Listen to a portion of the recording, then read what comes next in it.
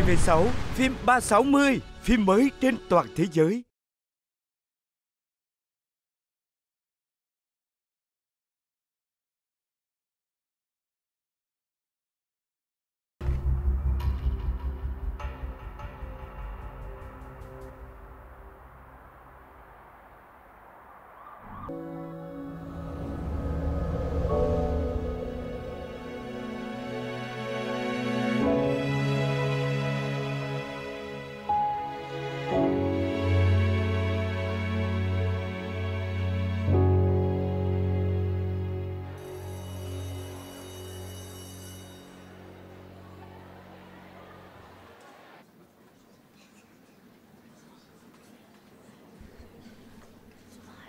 Sao vẫn chưa bắt đầu?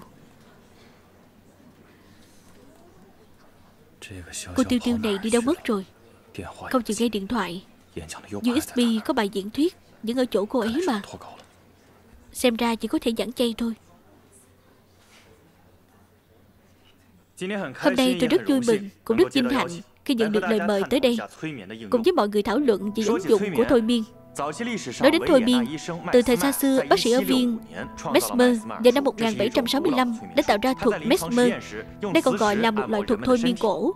Khi thử nghiệm lâm sàng, ông ấy đã dùng nam châm để xoa bóp cơ thể người. Sau đó, ông phát hiện ra, hành vi này thường xuyên khiến bệnh nhân bước vào trạng thái mà ngày nay chúng ta hay gọi là trạng thái bị thôi miên. Sở dĩ cách này có thể chữa trị cho bệnh nhân là vì sự ám thị đã phát huy tác dụng nhất định, từ đó đánh dấu sự phát triển của việc thôi miên chúng ta nói đến ngày hôm nay. Chú à, cháu đến hiện trường rồi, không phải nhăn lạc đâu Chú yên tâm đi Dân ạ。Rất vui được hợp tác với cô Vậy để tôi tiễn cô。Tạm biệt, tạm biệt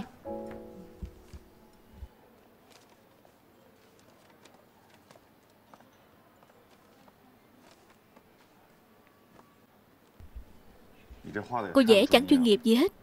Phong cách ấu trĩ chưa nói. Phục vụ Phong cảnh và bóng cũng liên tha liên thiên. Cô xem cô vẽ cái đầu này. Tỷ lệ dai của nhân vật căn bản không phù hợp mà. Xin lỗi Lần sau hợp tác sau nha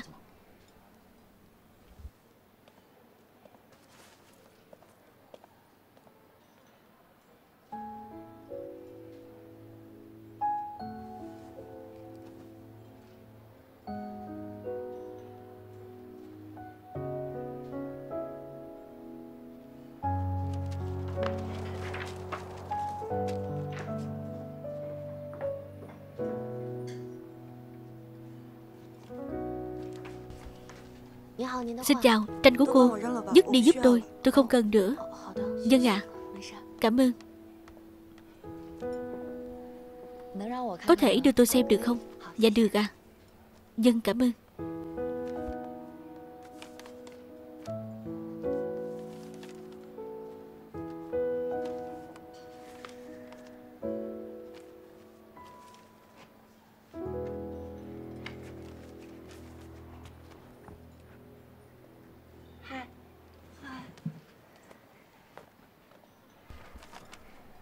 Tôi rất thích tranh của bạn. Dứt đi thì phí quá.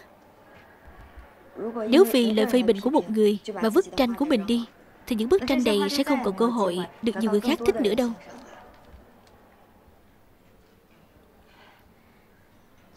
Thực ra những gì anh ta nói cũng đúng mà. Tôi chưa từng học mỹ thuật chuyên nghiệp. Đúng là thiếu kỹ thuật. Đúng thế. Bạn chưa từng học mỹ thuật chuyên nghiệp Mà đã dễ đẹp như thế. Vậy thì càng cho thấy bạn có năng khiếu hơn. Tôi vừa bỏ việc, đang xây dựng tài khoản blog của mình. Tôi thấy phong cách của bạn rất hợp với phong cách viết văn của tôi. Không biết bạn có chịu tới vẽ tranh minh họa cho tài khoản của tôi hay không? Bây giờ tôi cũng mới bắt đầu thôi Không có nhiều tiền đâu Không thể trả cho bạn thù lao cao được. Nhưng mà tôi có hơn một vạn fan. Nếu tranh của bạn được đăng cùng bài viết của tôi Thì sẽ có hơn một vạn người. Nhìn thấy tranh của bạn Tôi tin là sẽ có người có mắt nhìn giống như tôi Sẽ thích tranh của bạn thôi.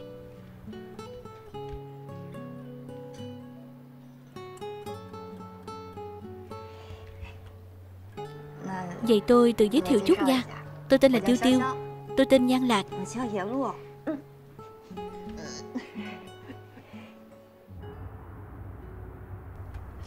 USB của thầy Lâm. Sư phụ à Chúng ta đổi lộ trình. Đến Đại học Bách Xuyên giùm tôi, Phiền anh nhanh lên một chút, Được thôi. Lúc trước người ta cho rằng Trình độ thôi miên được quyết định Bởi mức độ bị ám thị của người bị thôi miên. Người bị thôi miên càng dễ bị ám thị Thì càng dễ bị thôi miên. Nhưng mà thôi miên Agrisonia hiện đại, cho rằng quan hệ trị liệu lành mạnh là tiền đề để việc thôi miên có tác dụng, dùng sự ấm áp, tôn trọng thấy hiểu, hợp tác để trao đổi với đối phương, có thể giúp đối phương tiếp nhận phần khác biệt của mình ở mức cao nhất, từ đó phát huy tiềm năng của mình. Cảm ơn mọi người.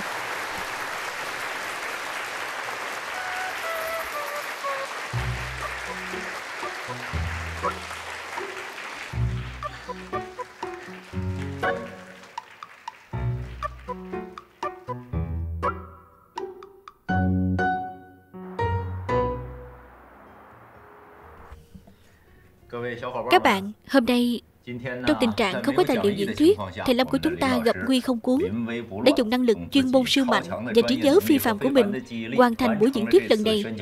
Thật sự là quá giỏi rồi đó.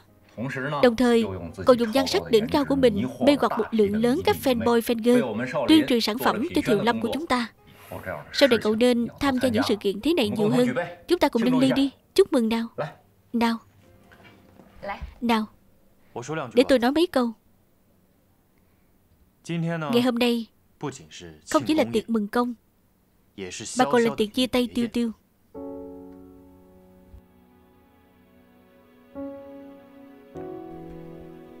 Tôi chúc tiêu tiêu Tiền đồ như gấm.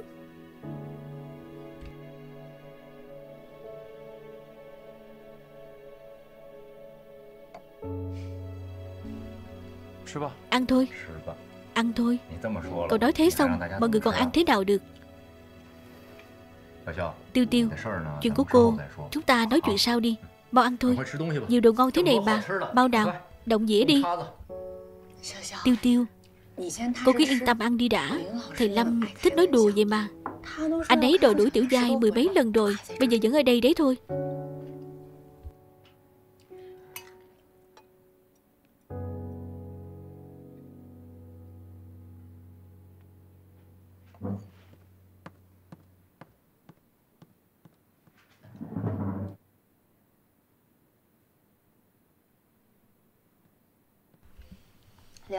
Ông chủ Lâm à, hôm nay rất xin lỗi anh Dù nguyên nhân là gì, đây cũng là lỗi của tôi Mong anh có thể tha thứ cho tôi。Thầy Lâm, tôi biết sai rồi mà Sau này tôi nhất định sẽ mua cái thắt lưng Buộc anh lại À không phải không phải Là anh buộc tôi bên người của anh Sau này tôi nhất định sẽ không rời xa anh nửa bước Chỉ cần anh đừng đuổi tôi thôi Thầy tham à, nguyên nhân của tôi đến Thiệu Lâm chính là vì muốn nhận anh làm thầy. Tôi muốn trở thành một chuyên gia tư vấn tâm lý đủ tư cách. Tôi sẽ không rời xa anh, tôi cũng sẽ không rời Thiệu Lâm đâu.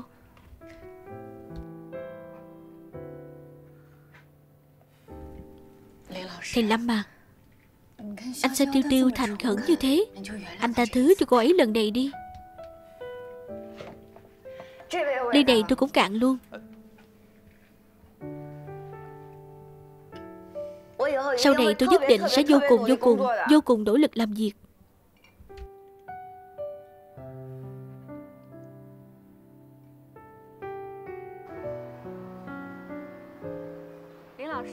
Thầy Lâm, phiền anh đưa Tiêu Tiêu về đi. Bác Tài, chúng tôi đã ra ngoài rồi. Đúng rồi, đúng rồi, anh thấy rồi hay sao? Được, được, được rồi. Vậy ai về nhà nấy đi. Bye bye, bye bye Chắc là cái màu đen này đấy. Đúng thế. Tới rồi tới rồi. Đi nhé. Được, bye bye. Bye bye bye bye. Đi đường cẩn thận nhé. Dạ được. Cô có ổn không đấy? Không sao. Thầy Lâm, Nhà cô ở đâu? Tôi gọi xe cho cô nha. Không cần không cần đâu. Anh đi trước đi. Bye bye, thầy Lâm. Bye bye, thầy Lâm. Tôi sẽ gọi xe.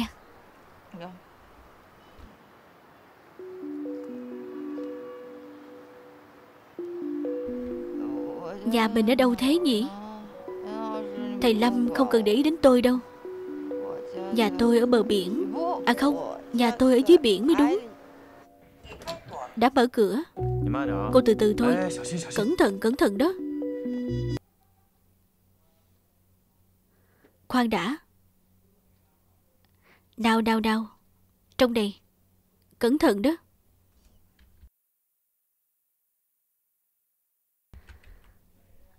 Được rồi. Từ từ từ từ. Đừng nôn Đừng nôn mà. Đông vào đây Đông vào đây đi. Nước Nước. Được, tôi đi rót nước cho cô. Đừng có nôn lên sofa của tôi đấy.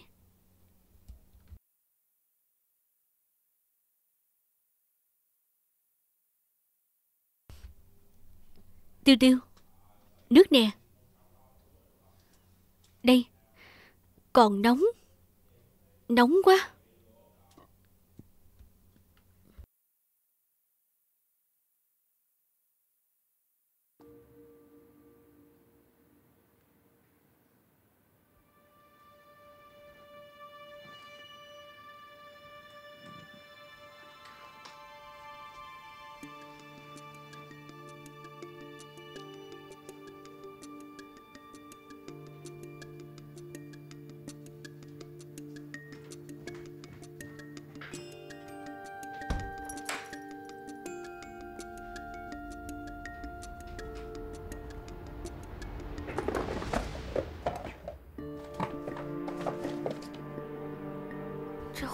Sao mà hình vẽ này giống nhan lạc thế nhỉ?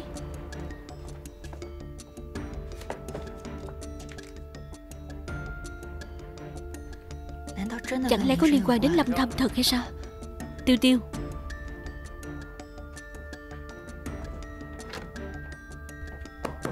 Tiêu tiêu.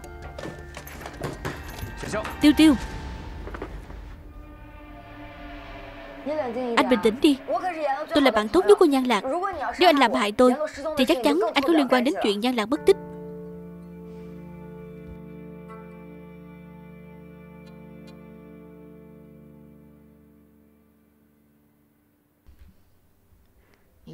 Thực sự một tuần rồi, Anh đã không gặp Nhan Lạc sao? Đúng thế. Thế hôm tôi đến phỏng vấn, Tại sao lại có cảnh sát đến tìm anh? Nhan Lạc đã gửi thư cho tôi. Những cái đêm trước khi mất tích, Quay đã hẹn đến từ những tâm lý ở chỗ của tôi. Đến lịch hẹn, Giang Lạc thật sự không xuất hiện. Video và tài liệu tư vấn. Lúc trước cô ấy đến đây tư vấn. Anh có tiện photo cho tôi một bản không? Được, tôi sẽ bảo đồng nghiệp chuẩn bị nghe một bản đi Được. Tôi đột nhiên nhớ ra. Lúc trước cô ấy từng gửi cho tôi một bức thư kỳ lạ. Tại sao cô ấy lại gửi tin nhắn thế này cho anh? Tôi cũng thấy lạ lắm. Lúc đó trong quá trình tư vấn Nhan Lạc không có gì bất thường hết. Sau đó tôi còn hỏi cô ấy Cô ấy bảo bức thư này không phải cô ấy gửi? Thế anh giải thích sao về cái này Sao Nhan Lạc lại tặng quà cho anh chứ. Không lâu trước đó là sinh nhật của tôi, Các đồng nghiệp tặng quà sinh nhật cho tôi. Tả nhiên gói đám quà này lại, Rồi đưa đến nhà của tôi. Cái này chắc là do Nhan Lạc, Để quên ở văn phòng nên bị lẫn vào thôi. Anh mà nói dối, tôi hỏi tản Nghiên là anh lộ ra đấy. Tùy cô thôi. Bà quà này rõ ràng không phải để cho tôi Là cho cái người tên là W này đây. Em rất thích anh.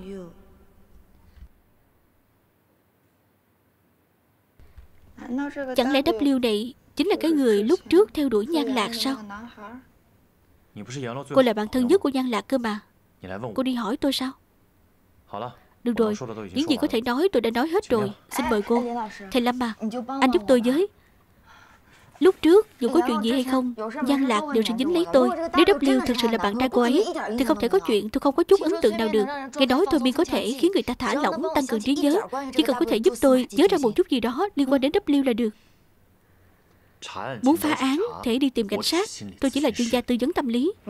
Không phải anh định đuổi tôi đi sao? Nếu anh giúp tôi tìm ra W, tôi sẽ chủ động nghỉ việc. Nếu không, tôi sẽ đến công ty, chọc tức anh, Tôi sẽ làm trò buồn nôn với anh trước mặt của đồng nghiệp Tôi sẽ nhảy nhót trong phạm vi 2 mét Trước bàn làm việc của anh mỗi ngày. Thầy Lâm, tôi xin anh mà Giang Lạc thật sự là bạn thân nhất của tôi. Chỉ cần anh có thể giúp tôi tìm ra cô ấy Bảo tôi làm gì cũng được. Cô phải học cách mở lòng và thả lỏng. Nếu không thể làm được một mình Thì cũng có thể nhờ bạn bè giúp cô. Cô có người bạn nào khiến cô thả lỏng Hoặc là thấy ấm áp hay không? Có Tôi có một người bạn thân giống như mặt trời nhỏ. Cô ấy tự tin, lạc quan và tích cực. Chỉ cần ở bên cạnh cô ấy là tôi sẽ không còn bất an nữa.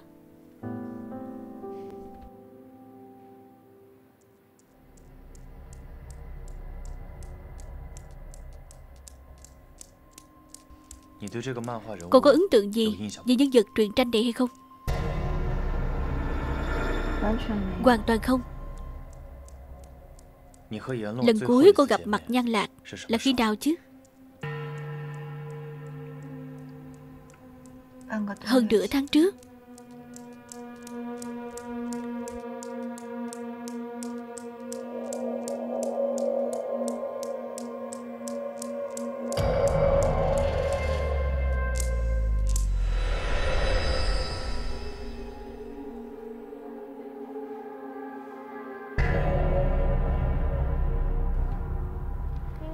Nên mặc cái gì đi gặp tổng biên đây?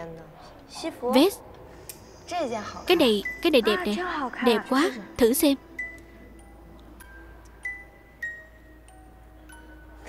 Đắt quá đi. Lần này cậu đi gặp tổng biên của nhà xuất bản đấy. Cứ mua cái tử tế cho nó hoành tráng. Vậy thử cái này đi nha. Thử đi thử đi. Tiêu tiêu Cái này trông có tùy tiện quá hay không vậy? Không đâu. Bộ đó thật sự rất đẹp. Lụa thật đó. Ngoài bộ đồ đó ra, Cô có thấy gì để lại ấn tượng sâu sắc không? Cái này đẹp mà. Mặc lên trông còn trắng hơn đó. Sao thế? Không sao. Không có gì đặc biệt hết. À khoan. Hình như cậu ấy đã nhìn thấy gì đó. Cô nhìn thấy gì chứ?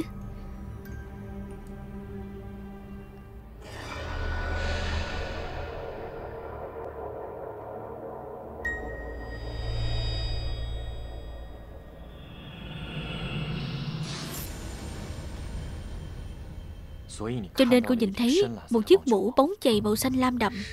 Đúng vậy. Và sau đó cô có từng nhìn thấy Chiếc mũ bóng chày màu xanh lam đậm đó Ở đâu nữa hay không? Đúng thế.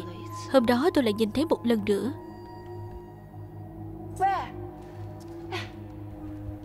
Qua đây qua đây. Sao vậy? Nhìn này nhìn này Bán chạy nhất tuần này Thế giới bé nhỏ của tôi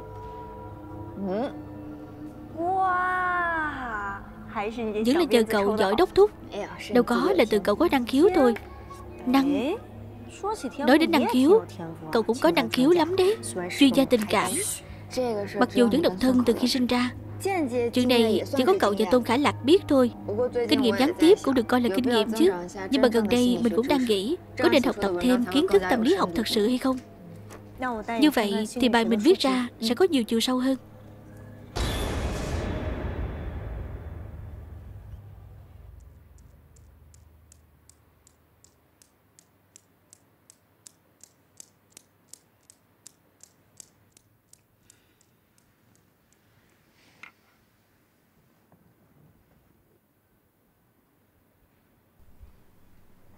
Chẳng lẽ người đó. Chính là W của Nhan Lạc sao?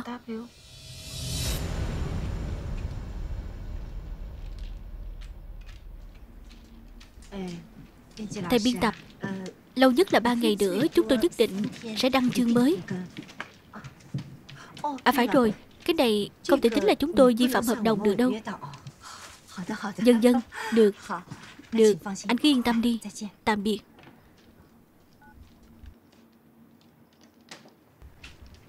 Lần này không phải con bé, Thật sự xảy ra chuyện đấy chứ. Lần trước nó cũng chơi trò biến mất một lần. Chỉ có điều lần này chơi lâu hơn một chút thôi. Bây giờ phải làm sao đây? Tiền vi phạm hợp đồng, Dù sao cũng không phải là con số nhỏ đâu. Thế chúng ta đi tìm người dễ thuê, Giải quyết chương mới lần này. Nhưng mà tôi nghe nói giá cả họ đưa ra đắt lắm. Hai người đang nói gì vậy? Tiểu Phong Tiểu Phong mà, Chị con đâu? Thôi, con về nghỉ ngơi đi. Tự cô đi tìm. Tiểu Phong, Con sốt ruột cái gì chứ? Mẹ đã báo cảnh sát rồi. Hơn nữa, Đêm hôm thế này, Con đi đâu mà tìm đó Ba mẹ chưa từng quan tâm đến chị con. Hai người chỉ quan tâm đến tiền của chị ấy thôi. Con Con ăn nói kiểu gì vậy? Con tưởng là ba mẹ con cần tiền hay sao? Ba mẹ chỉ muốn tốt cho con thôi. Con tốt thì cái nhà này mới tốt được chứ. Tại sao con lại không hiểu gì hết vậy? Chắc đến 8 phần Là chuyện của con lại trốn ở nhà bạn rồi. Tiểu Phong, Cô đừng có lo lắng lung tung nữa. Lão Nhan, Sao không chơi nữa chứ? Chơi chơi. Nghe chưa?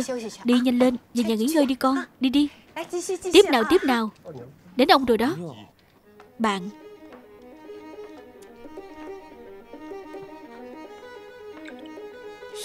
Tiêu tiêu.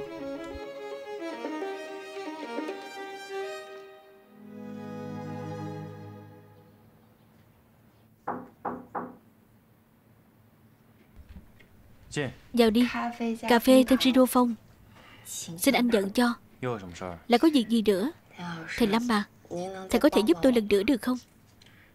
Làm được gì thì tôi làm hết rồi. Thầy Lâm anh giỏi thế. Nếu có thể tiến thêm một bước tìm ra W Anh sẽ được yên tĩnh sớm thôi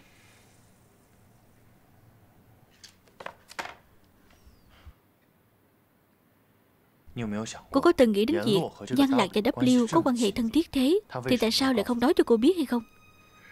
Nghĩa là sao? Có thể cô ấy đang do dự. Cô ấy đang do dự về mối quan hệ này Hay là đang do dự có nên nói cho tôi biết hay không? Cô là bạn thân của Nhan Lạc mà. Cô phải hiểu rõ cô ấy hơn tôi mới đúng. Nhưng mà có thể W không đáng tin Hoặc là hắn vốn là một nhân vật nguy hiểm So với việc đến nhờ tôi Cô nghĩ đến những người xung quanh Nhan Lạc đi thì hơn. Phải đến nhà của Lặng Lạc Tìm manh mối thôi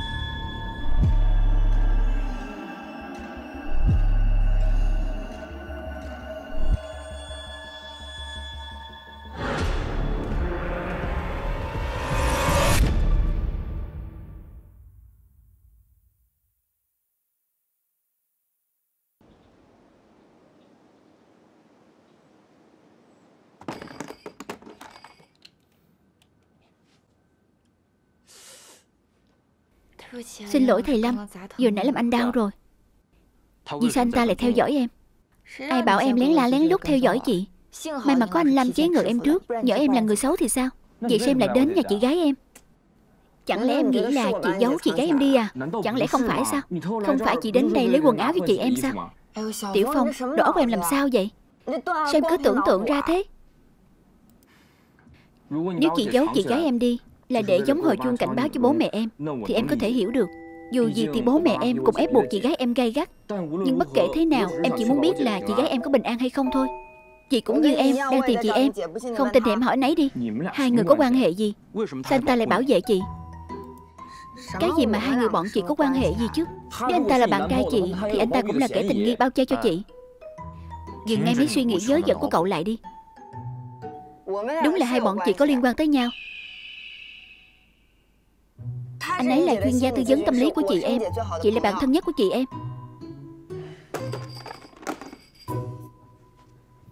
Cũng đúng. Này chú, gọi ai là chú hả? Này anh. Chị ấy không xứng danh đâu. Được rồi, được rồi Chị không muốn nghe em nói linh tinh nữa. Chị nói cho em biết Em có gì quan trọng phải làm. Chị định làm gì? Đừng mất thời gian tìm chị em nữa. Chị không phải Được rồi đó Tiểu Phong. Mau lên. Chị đừng động vào đồ của chị gái em. Anh Ôi chị bỏ tay ra đi. Em có tránh ra không? Em không tránh em. Chị đừng động tay chân mà. Em tránh ra. Chị buông tay ra. Tránh ra. Nào tránh ra. Buông tay. Nào Lại đây. Đứng yên đó.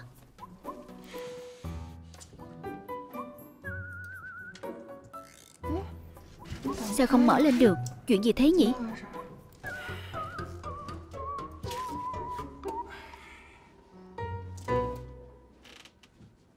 Tại nó khiến tôi tức quá Nên đầu óc chập mạch luôn rồi.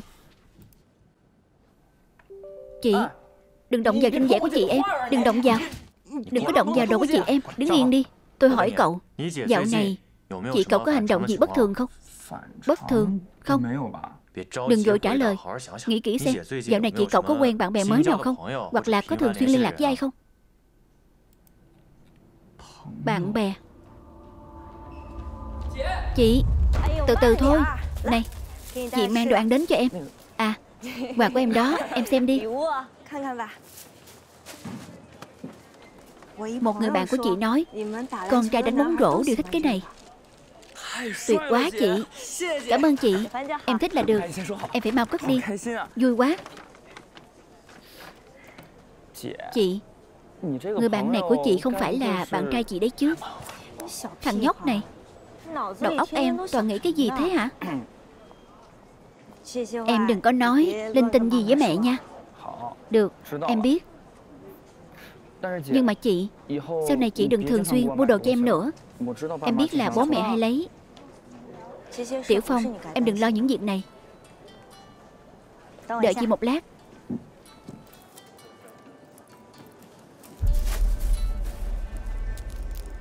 Alo anh đợi em một lúc nữa nhé. Em đang ở trường của em trai em. Em có nhìn thấy tên danh bạ trên điện thoại không? Đều tại em. Nếu lúc đó em hỏi thêm một câu, Thì có lẽ chị em đã không mất tích. Yên tâm đi, Bọn chị sẽ nghĩ cách dụ hắn xuất hiện.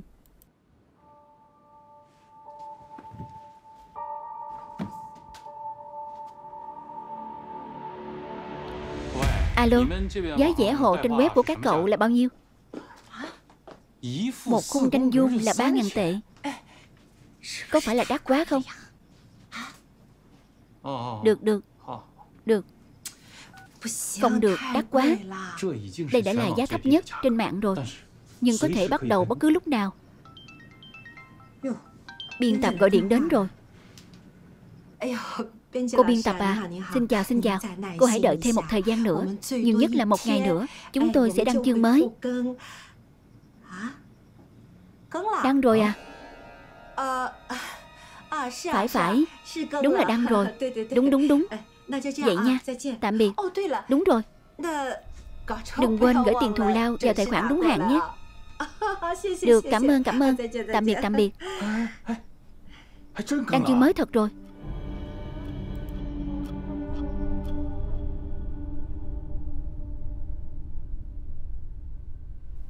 vốn dĩ em còn lo lắng Fan sẽ nhận ra được là do biên tập vẽ Kết quả là không ai nhận ra. Sao mà chị làm được thế? Chị gái em để lại bản thảo của mấy tập sao? Trước đây chị cũng từng học vẽ Chị hiểu phong cách vẽ của cậu ấy. Chị chỉ dựa vào bản thảo và hoàn thành thêm một số chi tiết. Lợi hại quá. Lợi dụng cách đăng chương mới của truyện tranh Để tạo giả tưởng rằng chị em về rồi. Hắn ta thật sự sẽ xuất hiện sao? Bây giờ chưa biết được. Nhưng hắn nhất định là người có quan hệ thân thiết với chị em. Chị gái em mất tích Có khả năng lớn nhất liên quan tới hắn. Nếu như người đó liên quan đến chị em Liệu hắn có biết địa chỉ nhà em không Thế này đi Em về nhà trước. Hai người cứ đợi ở đây. Chúng ta chia nhau ra hành động.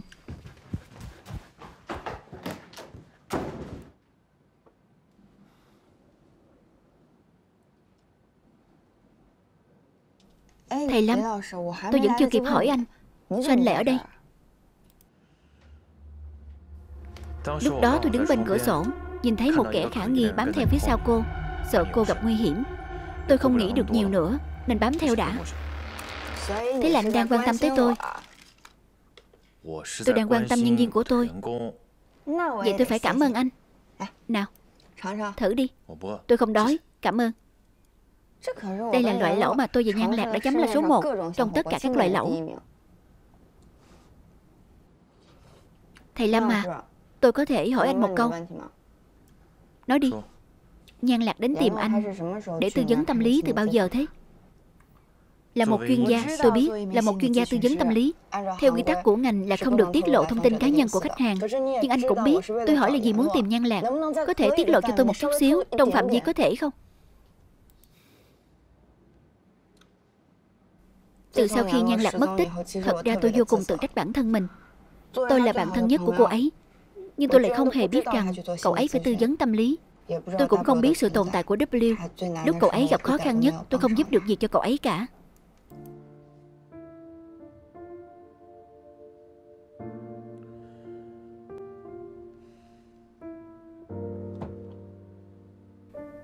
Phần lớn mọi người khi đối mặt với áp lực trong công việc hoặc trong cuộc sống ít nhiều đều có những vấn đề về cảm xúc. Khi mọi người đến tư vấn tâm lý Thường là không muốn nói cho người khác biết Đặc biệt là người thân xung quanh. Nếu nhan lạc Không nói với cô về sự tồn tại của W Cũng không có nói với cô rằng cô ấy đến chỗ tôi để tư vấn tâm lý Có thể là vì cô ấy là người thân cận nhất của cô Nhưng tôi lại cảm thấy Cô có thể giúp đỡ cho cô ấy Thật không? Cô ấy có được Một người bạn lạc quan vui vẻ như cô. Cũng là một sự may mắn. Tôi cảm thấy cô có thể đem đến cho cô ấy Một thái độ lạc quan và tích cực, cầu tiến. Tuy hơi nói nhiều Nhưng bệnh nói nhiều của cô Cũng có thể mang lại cho cô ấy Những cung bậc cảm xúc khác nhau trong cuộc sống. Anh đang khen tôi đúng không? Tôi chỉ không muốn cô tự trách mình nữa hay là nói về những gì anh Nam hiểu đi. Ví dụ như thôi miên có thật sự có tác dụng đến vậy không? Tuy trước đây tôi từng thử một lần, Nhưng tới giờ nghĩ lại tôi thấy vẫn không thể tin được. Thôi miên có thể mở ra cánh cửa Giữa ý thức và tiềm thức Để khám phá những ham muốn sâu hơn. Những tổn thương và ký ức đã bị dùi sâu. Chỉ cần người tư vấn đồng ý Phối hợp với nhà thôi miên Thì có thể tiến hành thăm dò liên tục. Quan trọng không phải là bản chất của vấn đề Điều quan trọng là phương pháp để giải quyết vấn đề. Tôi cảm giác công việc của chúng ta cũng gần giống nhau. Đều là cái thùng rác cảm xúc của người khác Chuyển những cảm xúc tiêu cực của người khác thành tích cực. Cô hỏi xong rồi hả? Vậy tôi hỏi cô Sao cô lại muốn trở thành blogger tình cảm? Cái này à Chuyện này thì phải kể từ thời đại học của tôi. Hồi đại học Do một cơ hội tình cờ mà tôi được vào đài phát thanh của trường. Tôi đã tham gia chương trình Tâm sự bạn gái. Chào mừng các bạn đến với chương trình Tâm sự bạn gái. Tôi là tiêu tiêu của các bạn đây. Tôi sắp có buổi hẹn hò đầu tiên với anh ấy Nhưng tôi căng thẳng quá. Dạo này tôi hay thức khuya Nên trạng thái của tôi rất tệ. Mặt còn mọc mụn nữa. Hay là tôi hẹn anh ấy hôm khác nhỉ? Buổi hẹn đầu tiên khó tránh khỏi tâm trạng hồi hộp. Nhưng nếu trong lúc này mà bạn lại rút lui Thì đối phương sẽ cho rằng bạn không thích anh ấy. Có ý muốn từ chối anh ấy. Bạn chỉ là linh mụng thôi mà. Người thật sự thích bạn sẽ không để ý chuyện đó đâu. Mau đi trang điểm và xuất phát thôi. Tôi nghe nói bạn trai tôi còn theo đuổi cô gái khác nữa. Tôi chỉ là lớp dự phòng của anh ấy. Tôi rất yêu anh ấy. Nhưng tôi thực sự không? biết phải tiếp tục như thế nào nữa trong tình cảm, điều quan trọng nhất là kịp thời ngăn chặn tổn thương. Nỗi đau dài không bằng nỗi đau ngắn. Bạn cần một chiếc xe tốt, nhưng anh ta chỉ là một chiếc xe hỏng. Chỉ có xe hỏng mới cần lớp dự phòng. Khi tôi thấy họ có được thu hoạch và sự trưởng thành trong tình cảm, vì những kiến nghị nhỏ của tôi, tôi cảm thấy rất thỏa mãn. Tôi hy vọng có thể tiếp tục cung cấp cho mọi người một nơi để dốc bầu tâm sự những vấn đề tình cảm. Nên tôi đã lập một tài khoản công cộng. Thì bối bối bắt đầu lan truyền trong nhóm sinh viên trường. Dần dần tích lũy thêm được một số fan từ các bạn nữ trẻ.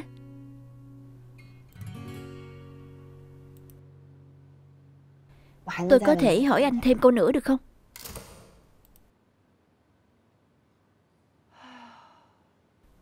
Nhà cậu ấy nợ tiền điện Tôi quên đóng tiền rồi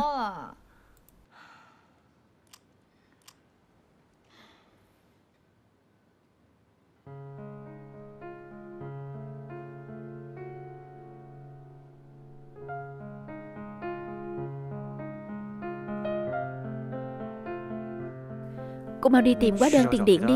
Còn ngay ra đó. Vậy anh Anh tìm trên bàn thử xem. Anh Anh xem ở đây có không?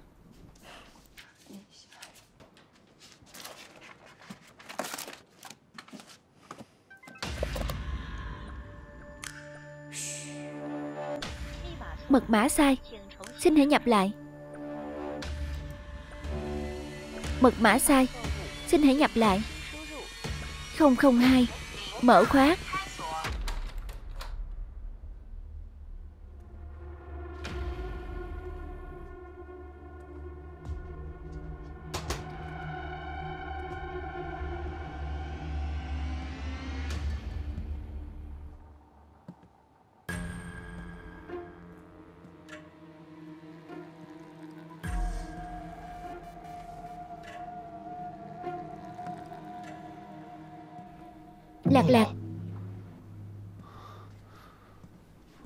Lạc lạc. Cuối cùng em cũng về rồi. Anh làm gì hả? Đứng lại Mau đuổi theo.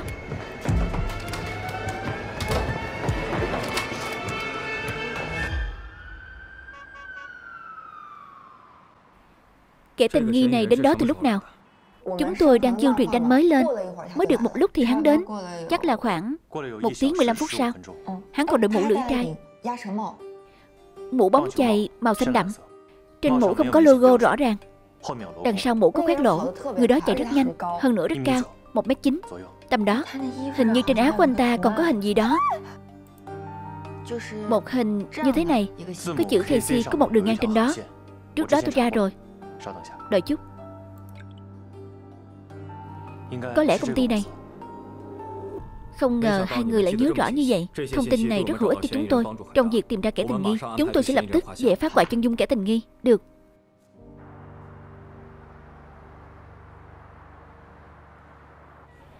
Xe buýt đến thị trấn Hoàng Sa Cảng sẽ xuất phát trong 15 phút nữa. Hành khách đi xe buýt này vui lòng nhanh chóng kiểm tra an ninh.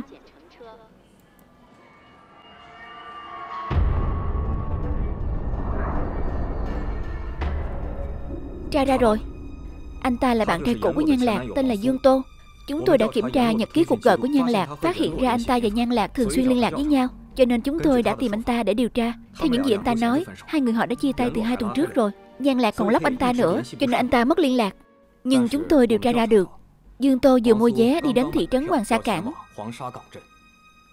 Thị trấn Hoàng Sa Cảng Homestay mà Nhan Lạc thường đi nghỉ dưỡng nằm ở đó Có thể Nhan Lạc muốn trốn Dương Tô nên chạy đến đó Mỗi ngày có hai chuyến xe buýt đến thị trấn Hoàng Sa Cương, lần lượt khởi hành lúc 11 giờ sáng và 5 giờ chiều. Bây giờ tôi sẽ sắp xếp lực lượng cảnh sát ở gần đó đến bến xe Lục Đằng. Còn khoảng 10 phút là chuyến xe gần nhất sẽ khởi hành. Vẫn còn kịp.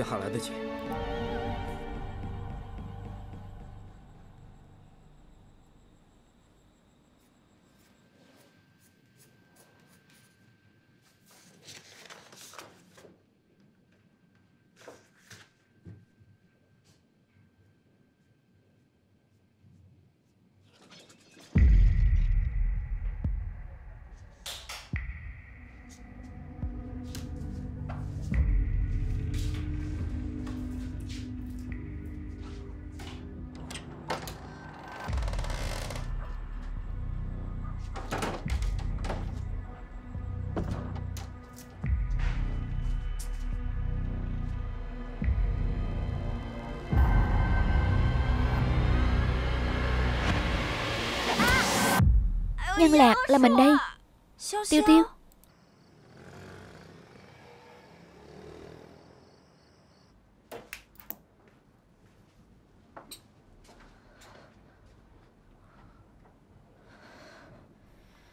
Nào, uống nước đi. Cảm ơn. Vào đi. Xin hỏi các anh đã ghi chép xong chưa? Xong rồi, chúng tôi đã tìm hiểu rõ về vụ việc của Dương Tô. Tiếp theo chúng tôi sẽ tiến hành giáo dục hắn và xử phạt hắn ta. Cảm ơn anh. Không có gì.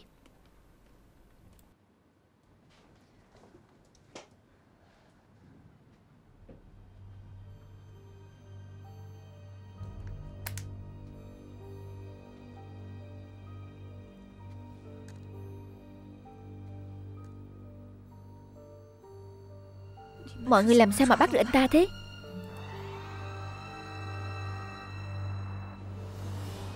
Xin chào, Cho kiểm tra giấy tờ.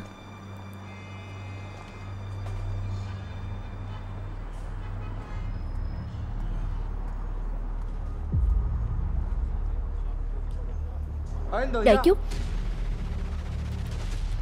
Hai tấm vé khứ hồi. Mua cho nhan lạc phải không? Mong anh phối hợp với công việc của chúng tôi. Nếu anh biết tung tích của Nhan Lạc Thì hãy nói thật với chúng tôi đi. Người nhà và bạn bè cô ấy Đều đang rất lo cho cô ấy.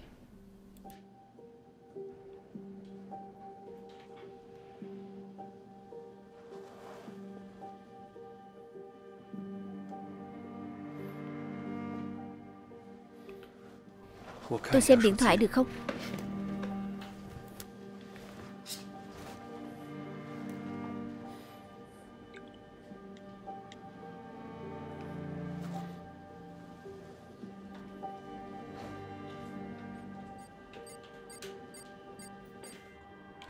Mình thực sự không biết anh ta cài đặt cái gì trong điện thoại của mình. Mình cứ mở máy ra là anh ta có thể biết được vị trí của mình. Như là hôm nay, Mình cũng nghĩ là mình tình cờ may mắn, Nhưng vừa mới mở máy chưa được 5 giây, Thì anh ta đã tìm ra mình rồi. Trong khoảng thời gian vừa rồi, Mình không dám liên lạc với ai cả.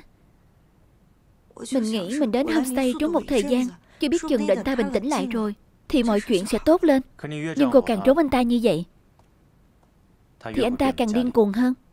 Thầy Lâm, anh vừa đi đâu vậy? Tôi không thấy anh. Tôi đi tìm Dương Tô nói chuyện. Thầy Lâm, anh có cảm thấy ham muốn khống chế của Dương Tô đã tới mức biến thái rồi không? Có phải là anh ta cũng nên tiếp nhận được trị tâm lý không? Đương sự từ chối tư vấn tâm lý Thì không ai có thể ép được anh ta. Nhưng mà Vừa nãy anh ta đã đồng ý rồi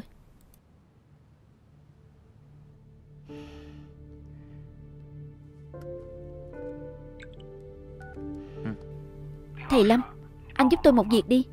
Tôi cũng biết hành động của mình là không đúng. Tôi cũng không muốn làm tổn thương lạc lạc, Nhưng tôi không thể khống chế được. Tôi cũng không biết là bản thân tôi bị làm sao nữa. Thầy Lâm, Anh giúp tôi đi. Được không?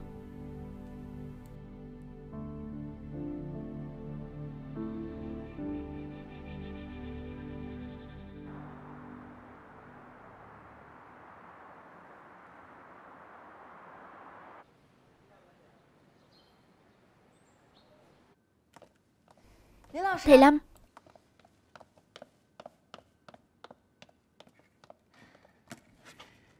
Tiếp theo phải nhờ anh rồi.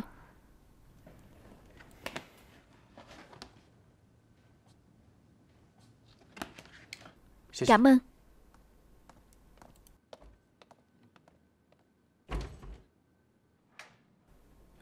Qua đánh giá tâm lý chuyên nghiệp, Anh không hề có bệnh tâm lý hay là chướng ngại tinh thần. Anh có thể tiếp nhận tư vấn tâm lý.